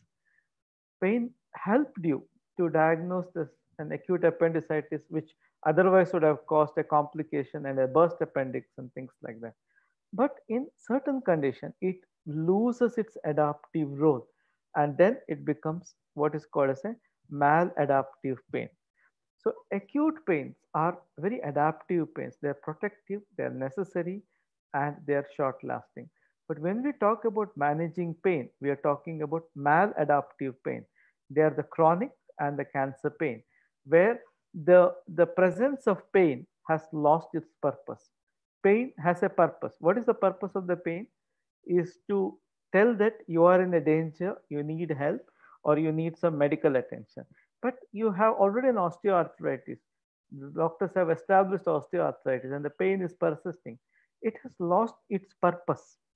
It is no more purposeful. So it has become a maladaptive pain. So most of the pain management that we are talking about is a maladaptive pain where it has lost its purpose and it could be a static pain in a, a chronic pain setting or in a cancer pain. It's very dynamic pain uh, because it changes with the disease uh, and uh, if the disease is getting better, the pain may come down, or the disease is getting, the pain may go up. The other aspect of that is the impact of pain. Uh, so there is a saying that manage pain before pain manages you, or the pain manages the person. A person whose pain is unmanaged over a period of time undergoes deconditioning. So what do you mean by deconditioning? is they uh, start uh, their performance status become less and less they become curled up in a corner uh, their whole activities may come down two it can have a neuropsychiatric uh, uh, mechanism that is what we call the pain behavior they could become more angry they could become more irritable anxious depressed uh, so it's huge host of neuropsychiatric neuroimmune it uh, changes the, the interleukin levels, the T cell functioning. There are studies though that are emerging which says that patients with cancer with well-managed pain responds better to chemotherapy compared to a patient with poor, poorly managed. And it has got a huge effect on the endocrine system. It increases the cortisol levels. Uh, because of increase in the cortisol level, it could suppress the immunity. So it's an, there's a huge neurohormonal and overall quality of life can become poor. So basically, when we talk about biopsychosocial factors, uh, changes the perception of pain. At the same time, biopsychosocial factors impact the outcome of pain. So uh, in many ways, even the pain could lead to loss of finances, loss of employment, will to live, and patients becoming isolated. So there is what we call as a pain disability index questionnaire, where you're not just looking at when you talk about assessment of pain. One important aspect that we need to assess is what is the how is the pain impacting the person on the person's uh, day-to-day -day life in terms of his family responsibility, recreation, social activity, occupation, sexual behavior, self-care, everything, how it is impacting. That's a very important thing to look for. The last keynote is verbal description is one of the several behaviors to express pain.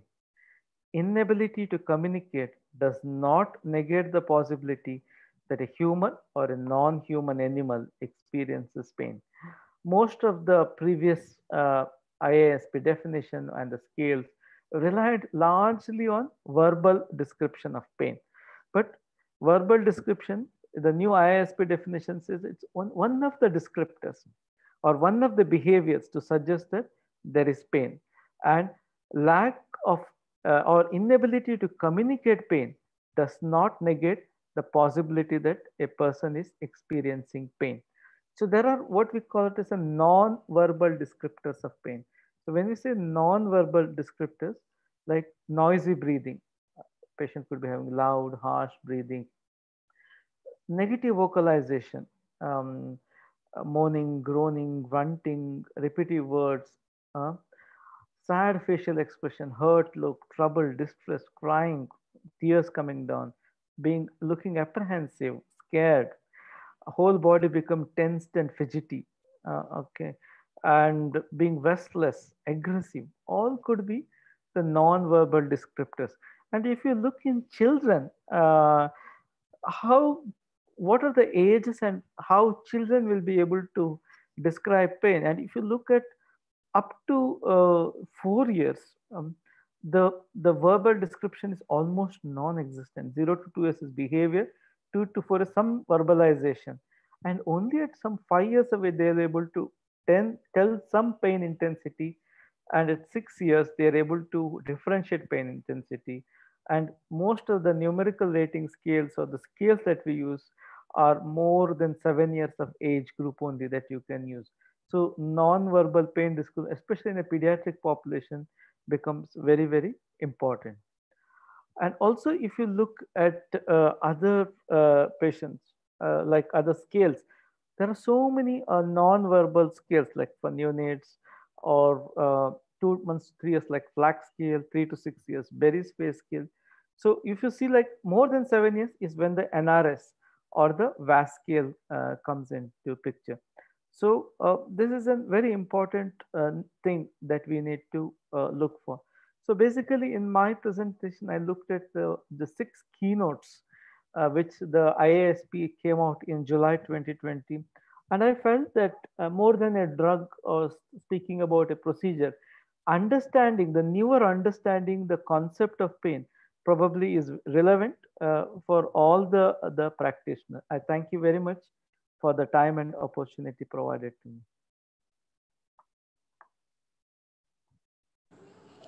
Thank you very much, Dr. Salins.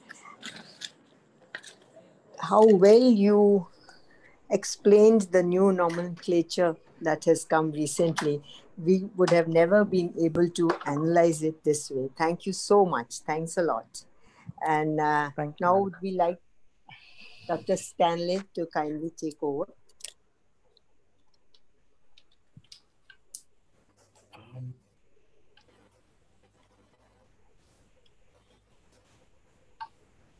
Can somebody help with the questions? Yes, sure.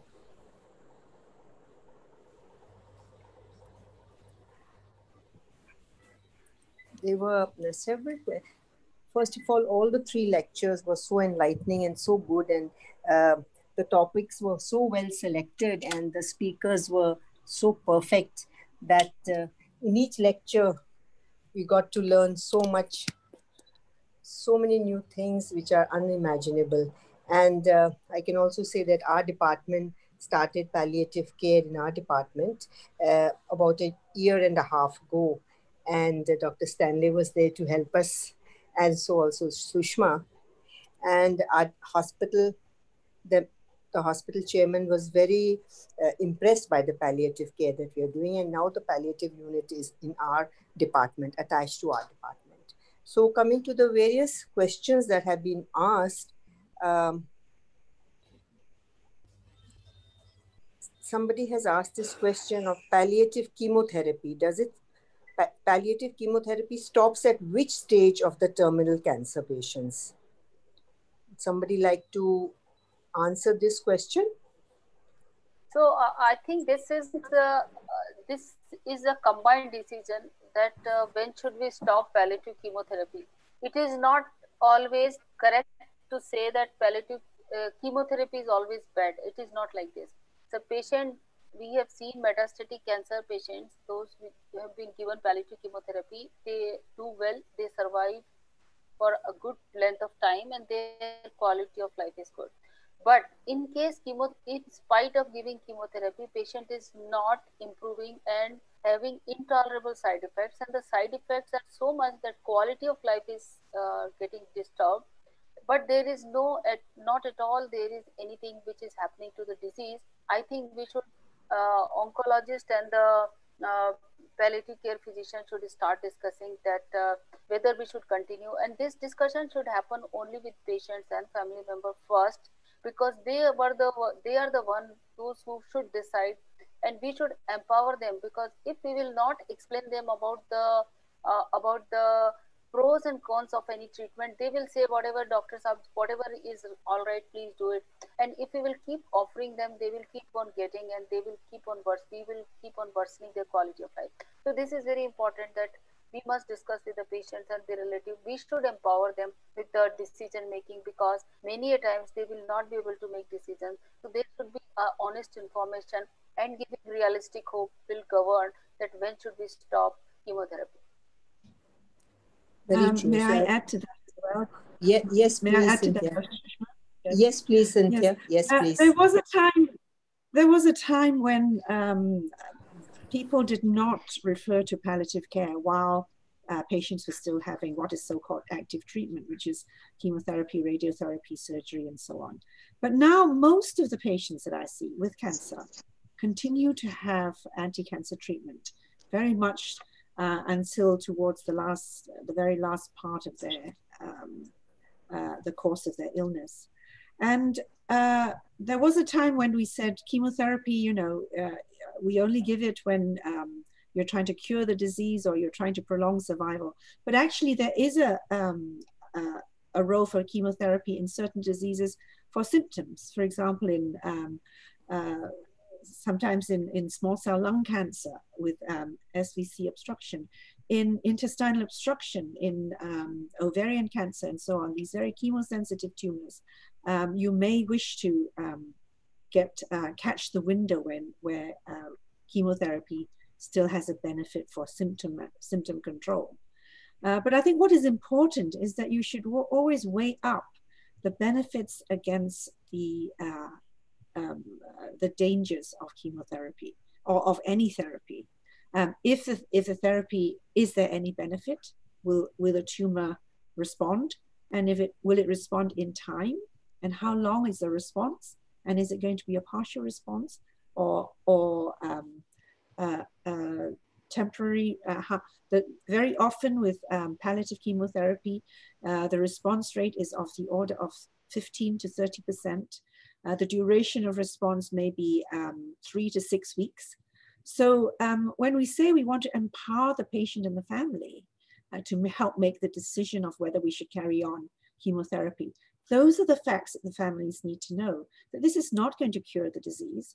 Um, there is a 30% chance or there is a 10% chance of um, a response to the treatment.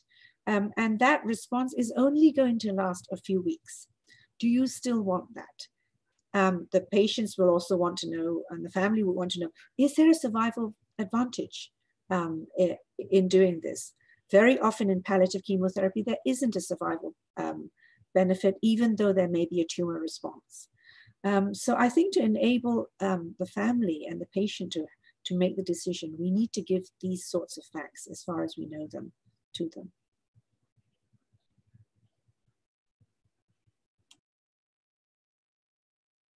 Dr. Jayshree, you're muted.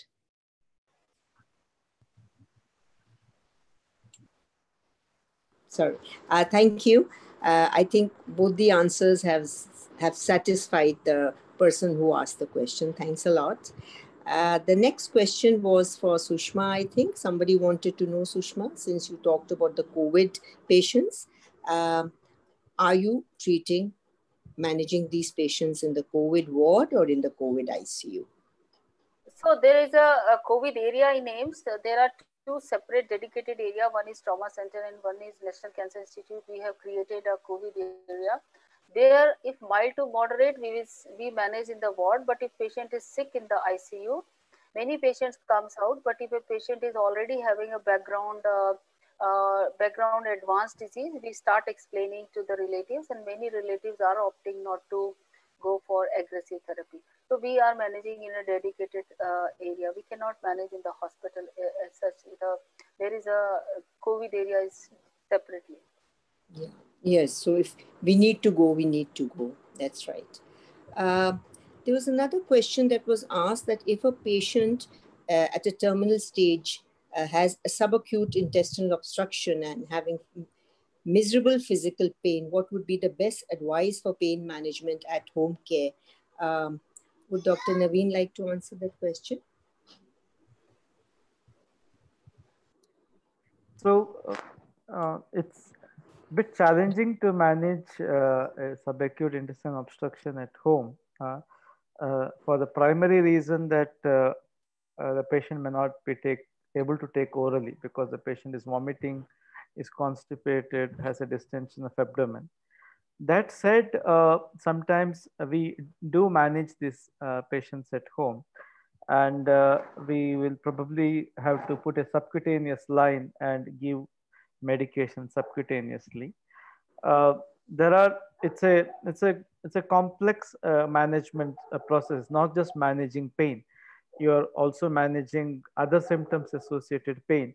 And also you're trying to see whether we can de-obstruct uh, the mechanical obstruction that is there. So uh, ideal uh, would be if you have an access to give for pain management smaller doses of fentanyl subcutaneously or um, uh, uh, fentanyl as a patch because it is least uh, GI side effects, along with giving dexamethasone, which is steroid, to help both vomiting uh, uh, and if the vomiting is a predominant symptom, sometimes we give also uh, haloperidol. and it depends whether it's a complete or a partial obstruction. If it's a partial obstruction, then there is a role for giving metoclopramide also. So, uh, and if there is an associated colic, uh, which is there, then we may have to give hyoscine butyl bromide. So, uh, I cannot answer this question in one drug or two drugs. There is a a, a, an approach uh, of managing this symptom.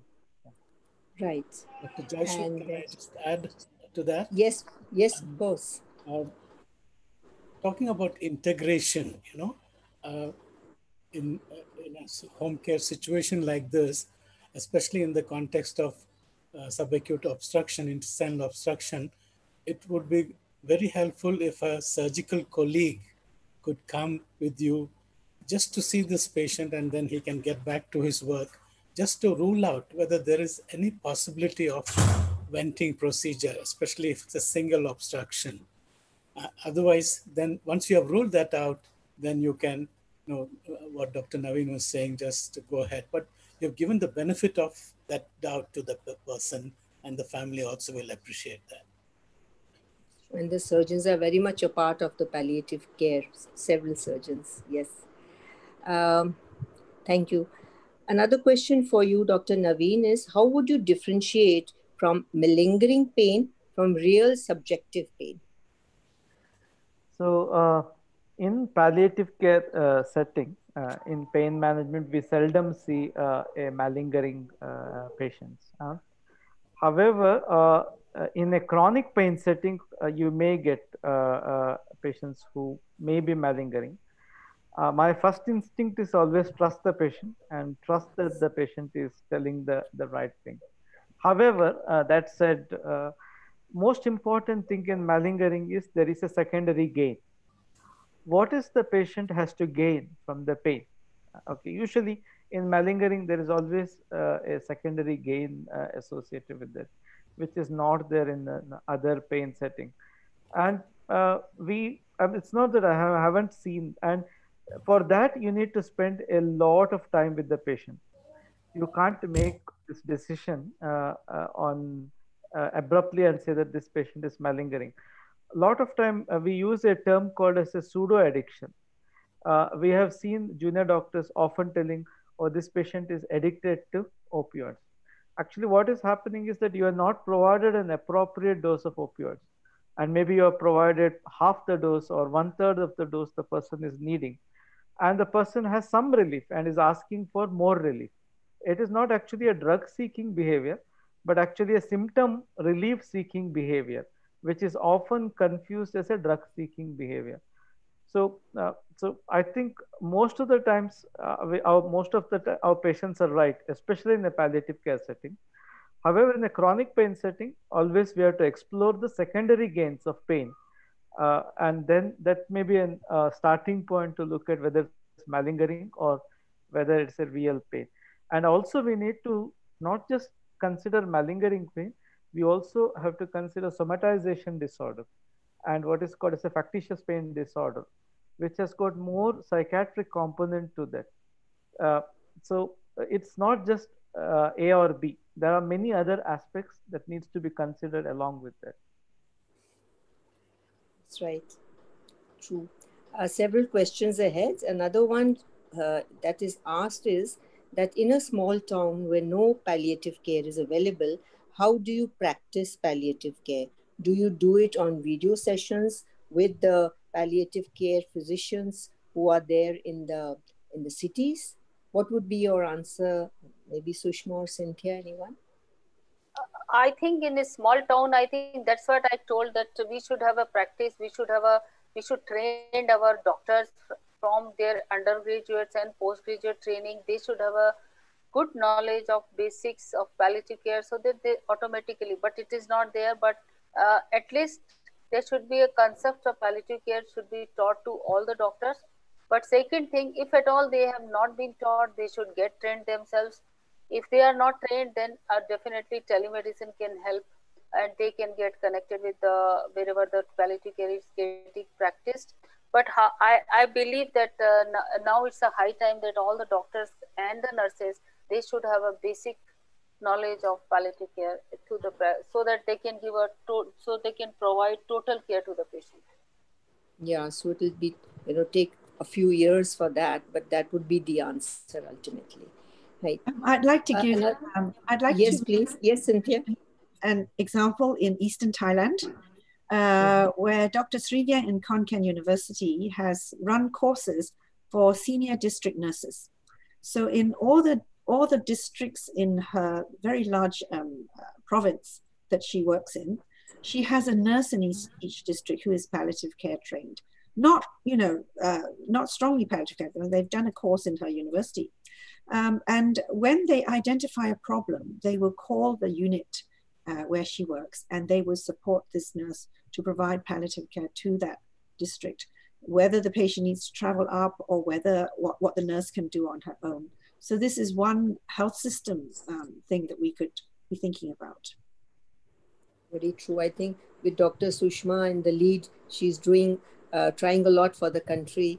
Uh, and I'm sure she'll uh, really manage to educate our nurses as well.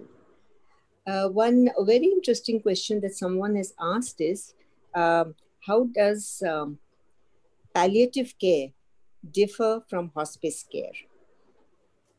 Dr. Naveen, would you like to answer that? How does hospice care differ from palliative care? So, uh, see, palliative care is in continuum, uh, and it starts from the the diagnosis uh, of uh, a critical slash terminal or a chronic illness and goes along the journey of the patient until the patient's death and beyond to the family uh, uh, into the bereavement phase.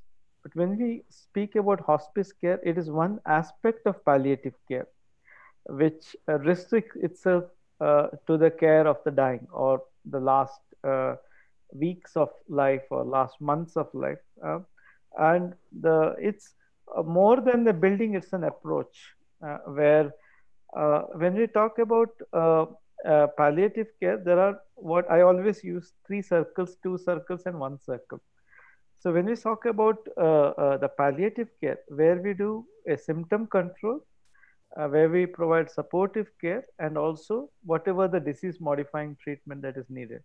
For example, a metastatic breast cancer who has got a, a, a METs to the spine may require a palliative radiotherapy and still appropriate to receive palliative care and palliative entrant treatment also. But when we speak about hospice care, the disease modifying aspect goes away. It's predominantly focused more on symptom control and managing the symptom and providing some supportive care. And if you go beyond that into end of life care, it's just symptom management where you don't even investigate anything or don't do anything, just manage the symptom. So we have to understand it as a continuum rather than uh, separate watershed uh, entities. Um, perhaps I could give um, a historical perspective to this to say that hospice care is really a, a, a, a type of funding that happened in America uh, a long time ago. I think it was 1987. Um, in, in America, if you go for hospice care, you get free home care for six months, but you must forego anti cancer treatment. Um, and this was originally started to help um, contain healthcare costs at the end of life. Um, so hospice care um, then became, uh, got a bad name. It never caught on. Americans don't want to go for hospice because they feel that you know, I don't want to forego anti-cancer treatment in order to have symptom control. Um, so, uh, so what Dr. Naveen says is correct, that palliative care, um, as we know it now, starts at diagnosis and goes right to the end of life and beyond to bereavement. But if you happen to be to live in America and get hospice care funding, it's got a, the Medicare hospice benefit, then um, you get, get free home care in the US for six months um, and you but you cannot be having chemotherapy and radiotherapy at the same time. So what people do nowadays is that people will go for hospice care uh, when they don't need to have for example radiotherapy for their bone, bone metastases. Then they will come out of hospice care in order to go in for their radi- radiation or their chemotherapy. Then they go back into hospice care and they count the, um, the 180 days of um, uh, home care funding that they get so really it's a very artificial um, divide between hospice care and, and palliative care. Uh, thank you, Cynthia. Uh, one of the last few questions um, that uh, Dr. Sushma, I could just ask you one question. Uh, what is the role of passive euthanasia in India? Um, uh, I think there is no, uh, according to palliative care physicians, there is no role of passive euthanasia. Uh, however, uh, the the Supreme Court verdict uh, has given this word, but I think this is a misnomer. Uh, they, we should not practice this. there is nothing like we are going to give anything like passive euthanasia. So I, I, I don't practice and uh, I think it's a totally a misnomer. Giving good palliative care to a patient is the right uh, uh right uh, offer, right thing which we should offer to the patient rather than uh, work using word passive euthanasia.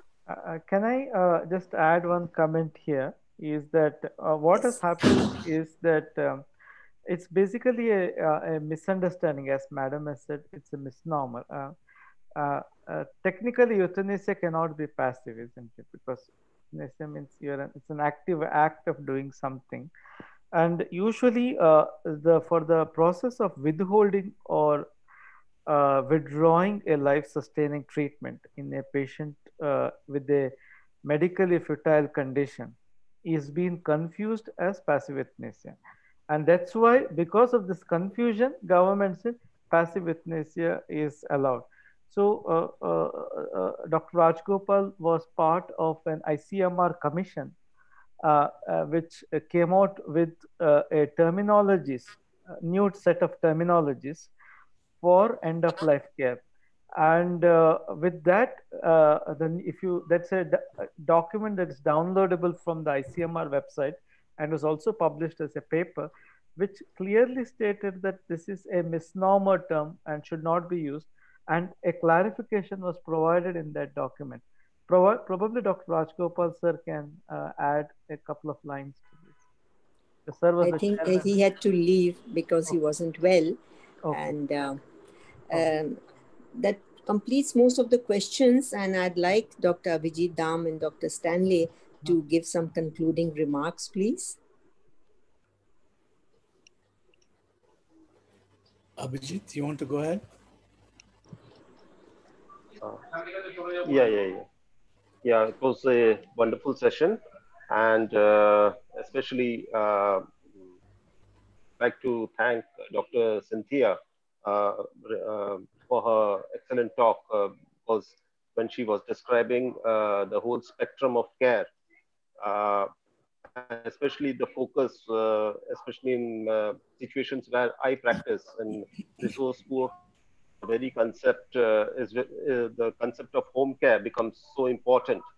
So uh, unless you do a full assessment, and uh, as I believe that assessment begins at home of the patient, unless you know the patient as a whole, unless you show compassion, unless you put yourself in the shoes of the patient, you really can't do justice. So that is how the story began. So that is uh, something uh, which actually struck me. Dr. Stanley. Um, I just want to, can, can you hear me? Yeah. I just yes. want to uh, say that uh, as anesthesiologists, I think it's very important, like what Dr. Sushma emphasized, that palliative care is integrated into ICU care. And the anesthesiologist to consider this as the fifth pillar that you so very well do otherwise. And so I'd like to just uh, thank everybody, the participants, for uh, uh, active participation, and all the speakers and my co-moderators. Thank you, Dr. Jayashree and Dr. Sanish for all the uh, logistic arrangements. Thank you very much. Thank you very much. And I'd like to thank uh, Dr. Rajagopal, although he had to go, Dr. Stanley, Dr. Dam, and our eminent speakers, Dr. Sushma, Dr. Cynthia, and Dr. Naveen, for really our evening was so constructive and we are going home so enriched. And all those who do, did not have any knowledge about palliative, I'm sure they're now convinced that they should start participating in this. Thank you very much. Thank you.